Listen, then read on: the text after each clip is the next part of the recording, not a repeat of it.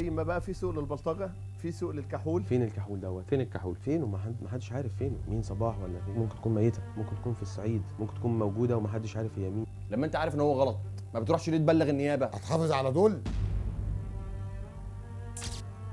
سكت ليه؟ يبقى انت مش هتعرف تحافظ عليه.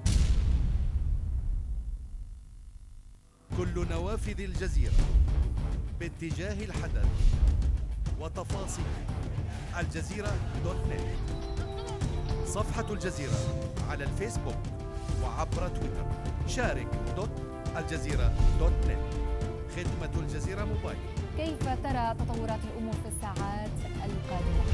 بين النور والظلام تكمن الحقيقة.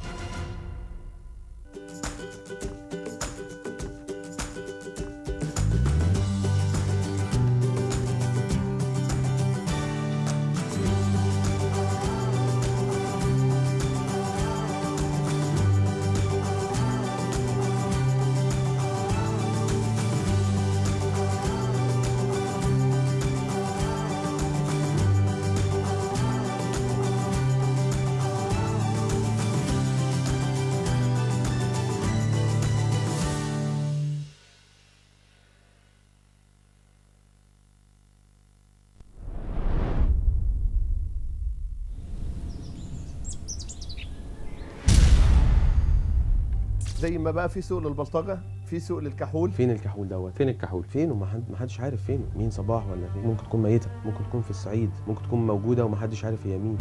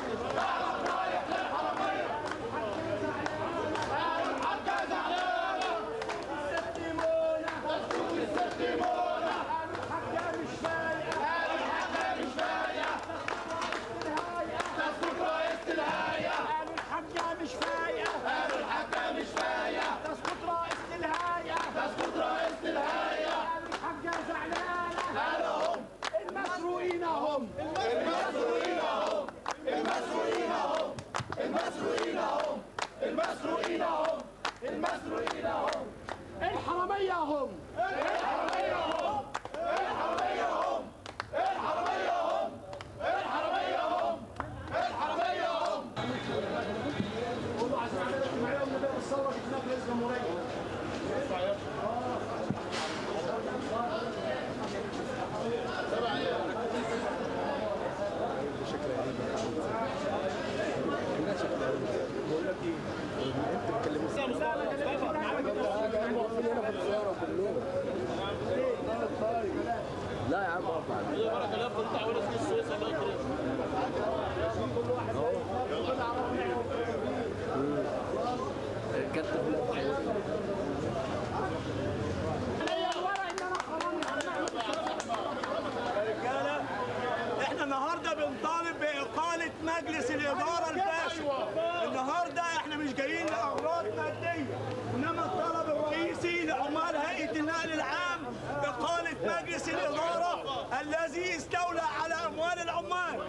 الذي استولى على أموال العمال حتى الملابس ب 72 مليون جنيه.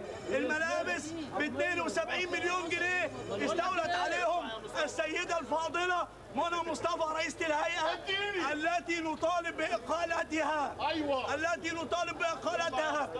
وعدم التجديد ليها لأنها هتدفع رشوة مليون جنيه لسكرتير المحافظ. هتدفع رشوة مليون جنيه لسكرتير المحافظ لكي يتم التجديد ليها. هي والزبانية حسين رفاعي وحسين ساهر كسكوت الستيمونه كسكوت الستيمونه قالوا اسقط رئيسة الهيئه اسقط رئيسة الحاجة زعلانه قالوا الحاجة زعلانه اسقط رئيسة الهيئه اسقط رئيسة الهيئه مش هنخاف مش هنطاطي مش هنخاف مش هنطاطي إحنا كرهنا الصوت الواطي إحنا كرهنا الصوت الواطي مش هن اضرب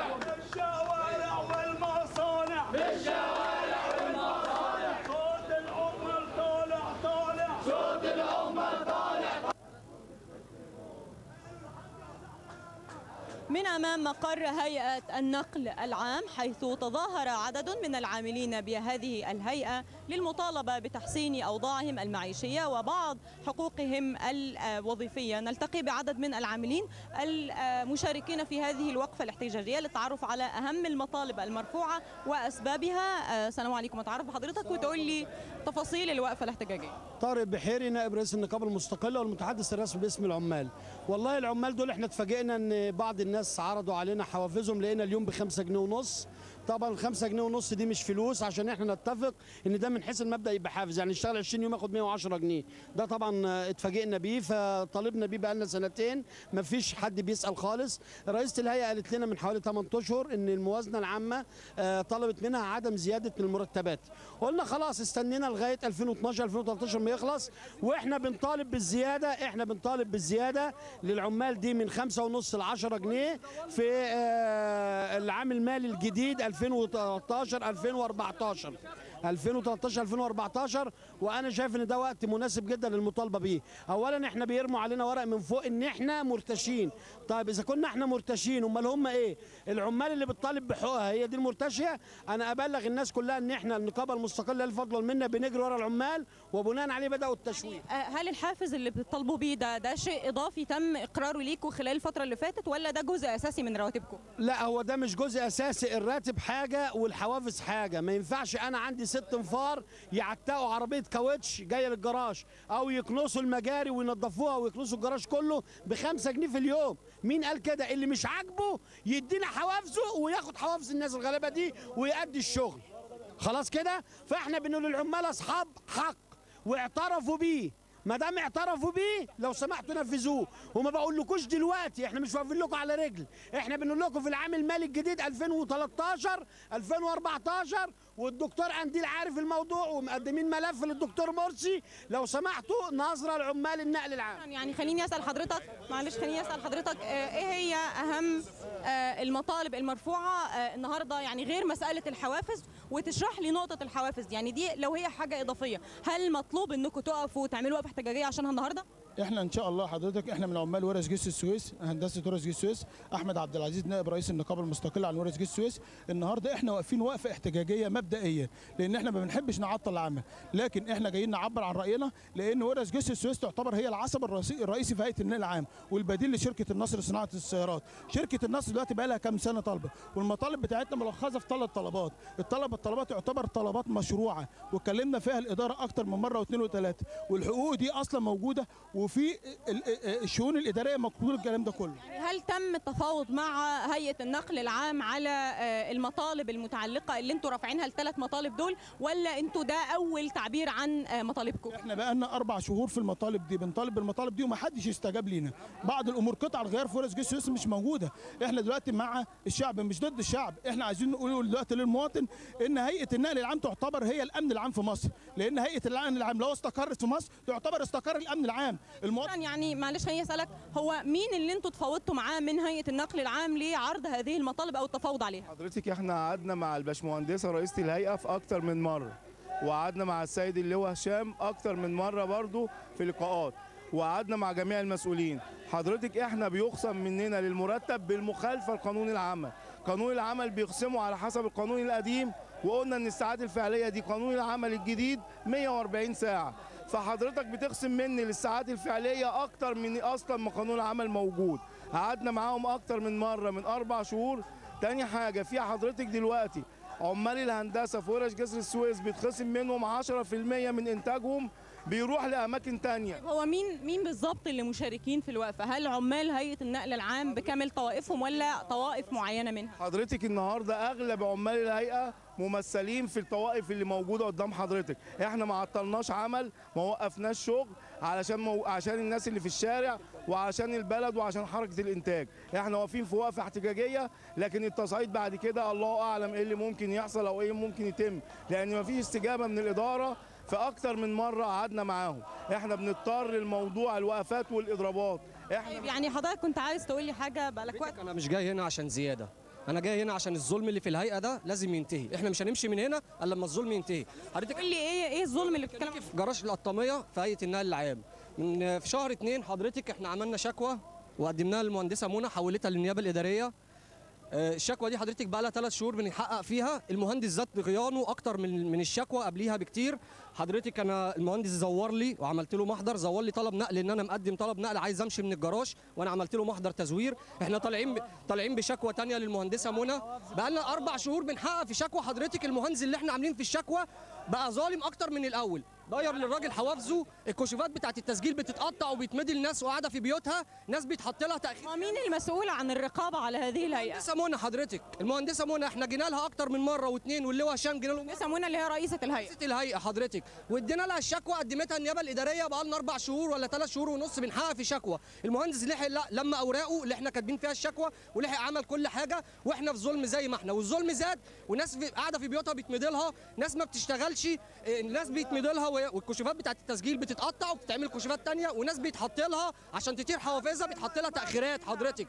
كل ده من مهندس إحنا مش عارفين نعمل معاه إيه. إحنا جايبين شكاوي وعامل له محضر ودلوقتي أنا آخر يوم ليا في الجراج في القطاميه هو عمل لي طلب نقل حضرتك إن أنا اللي مقدم طلب نقل ومزور إمضتي. أنا آخر يوم ليا النهارده في الجراج مش عارف أنا بكرة هبقى فين. أنا كده النهارده آخر يوم ليا حوافزي هتطير أنا مش همشي من هنا إلا لما المهندسة منى تجيب لي حقي. شكرا. هل تفاوضت معاها؟ استنى ثانية واحدة. هل أنت كلمت المهندسة منى وشرحت كل الكلام؟ ده؟ كلمتها آه. إيه كان ردها؟ قالت لي موضوعك في النيابة الإدارية. النيابة الإدارية بقى لها 3 أشهر ونص بتحقق في شكوى. هل هي المدة دي المطلوبة للتحقيق في الشكاوى ولا المدة دي أكتر من المعتاد؟ أو حضرتك أنا مقدم شكوى في مهندس إن هو بيقعد ناس في بيوتها وبيرتشي وبيعمل وبيسوي. لما تقعديه ثلاث أشهر ونص بيحقق في شكوى هو هيلحق يلم نفسه حضرتك. أنا بطلب منها إن في رقابة تيجي الجراج تشوف الجراج القطاميه ماشي إزاي العربيات ماشية إزاي قطع الغيار ماشية إزاي. مش طالب أكتر من كده. شكرا. حضرتك يعني ممكن أسألك أنت آه، يعني حد فيكم يجي يشرح لي أكتر المط... طيب اتفضل حضرتك. اتفضل. آه، من غير شعر بس من غير شعر. قول لي يعني بشكل فعلي تماما إحنا واقفين في وقفة احتجاجية مش محتملة للشعر. في إيدين بتخرب في الهيئة. في إيدين بتخرب في الهيئة. نيجي نقول لهم مين هي؟ محدش عايز يتكلم. طب أنا واحد راجل عندي 59 سنة. يجي يديني أتوبيس جديد ما أقدرش أجيب أكتر من 200 جنيه. يجي الشاب الصغير ملوش عربية ما يشتغلش أو يروح يجيب 100 جنيه. أصبحت أنا الشاب الصغير ده يعرف يجيب 600 جنيه. وأنا ما أعرفش أجيب ال 600 بجيب ال 200 بس. فقرات وسكر وضغط وس- و- و- وبلاوي سودا. و- ومش قادر أسد مع وبعدين ال- ال- ال- الطريق بره عايز الشاب القوي. يعني هل أنتوا آه، يعني اتكلمتوا مع إدارة الهيئة وتفاوضتوا معاها؟ كل ما نيجي نخش نتكلم مع حد بيحدفونا على بعض. يا إما مش فاضي يا إما يحدفونا على بعض. إحنا المفروض مترقيين ملاحظين من واحد واحد. كل شوية بعد 10 أيام يا عم علي. بعد 10 أيام يا عم علي. أتفرج على الشباب. مش لاقي عربية يشتغل عليها وأنا معايا عربية مش قادر أشتغل عليها. يبقى اللي معاه عربية مش قادر يشتغل واللي ما معهوش عربية مش قادر يشتغل. يبقى في إيد بتخرب ولا ما فيش إيد بتخرب؟ كل الإدارة دي وبقولها على حلو حسي وعلى الهوا ما بتتعاونش مع الباشمهندسة. ما تتعاونش معاها. تخش المكتب بتاعها تلاقي طوابير وكل المكاتب فاضية. تروح لده يردك لده. يعني انت شايف إنه المشكلة مش في المهندسة المشكلة في الإدارة المختلفة. كله بيحدفوا على بعض. الوحيد اللي شايل الإدارة هي. عصر الفساد بتاع نبيل المزني ما حدش لاقي عليها حاجة. ولا صلاح فرج لاقي عليها حاجة. سنة محترمة. بس المشكلة كل اللي فوق ما بيتعاونوش معاها. ما بيتعاونوش معاها ليه؟ ليه ما بيتعاونوش معاها؟ هي حسيت لوحدها تعمل إيه؟ بقول لك في ده بنخرب في الهيئة. فين هي الايداد اللي بتخرب في الهيئة؟ يقولوا لنا عليها. يقولوا لنا على الايد اللي بتخرب في الهيئة. إزاي أنا راجل عندي 60 سنة اخد عربية ما أقدرش اشتغل عليها؟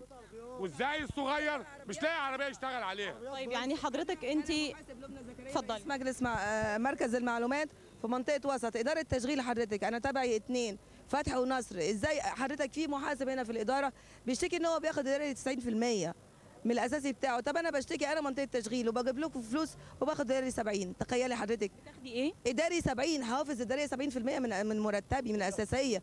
وبتاع الإدارة بيشتكي بياخد 90 لأن الإدارة بتلم من مناطق التشغيل. يعني معلش خليني أسألك إذا كنت أنت آه، بتشتغلي في الحسابات فأكيد مطلعه على آه، ميزانية ال- الهيئة. هل ميزانية الهيئة بتحتمل يعني تنفيذ والاستجابة لهذه المطالب أم إنه ده خارج عن إدارتهم؟ التنظيم حضرتك. التنظيم ضروري. الإدارة الحسنة ضروري في أي مجال حتى لو في أسرة لو رب أسرة. غير منظم أنا آسفة. غير منظم مع أسرته عمره ما هينجح. هيبدي طفل على طفل أو هيبدي أم على أطفاله أو هيعمل أي حاجة خطأ. الإدارة السليمة علم وفن. وليست آه، كلام فاضي. الإدارة هي اللي بتوصل للآخر. لكن من غير إدارة إحنا في الأرض إحنا بنتداس على الرجلين. لما أنا منطقة تشغيل باخد 70 وبتاع الإدارة بيشتكي إنه بياخد 90 في نقطة تانية. أنا باجي كل عطلة علشان أنا الوحيدة اللي ماسكة مركز المعلومات مع زمايلي. إحنا مكتب واحد بس. فباجي كل عطلة غير الأيام العادية. فطبعا بحضر كده. أبص ألاقي واحد من الحركة لأنه مسنود. جاي يطول عليا في عملي وشتمني وضربني. يعني جاي عايز يضربني تظل هذه الوقفات الاحتجاجية على اختلاف من يرونها سواء كانت مطالب مشروعة لهؤلاء العاملين أو كانت وق... يعني مطالب فئوية كما يسميها البعض إلا أنها تظل عائقا في مواجهة الحكومات المختلفة منذ الثورة وحتى الآن.